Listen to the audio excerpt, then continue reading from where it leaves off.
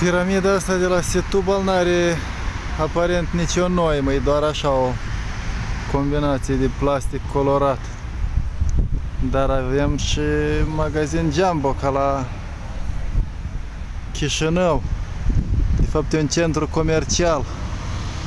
Și cel mai interesant aici e, iată, aparatul ăsta la care poți să dai din pedale sau celălalt la care poți să dai din mâini să faci curent electric și să încarci telefonul.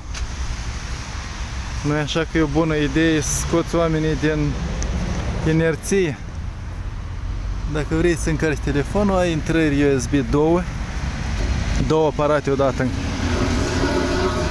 încarci, faci un mic efort, aduni niște vați și ți-ai încărcat aparatul.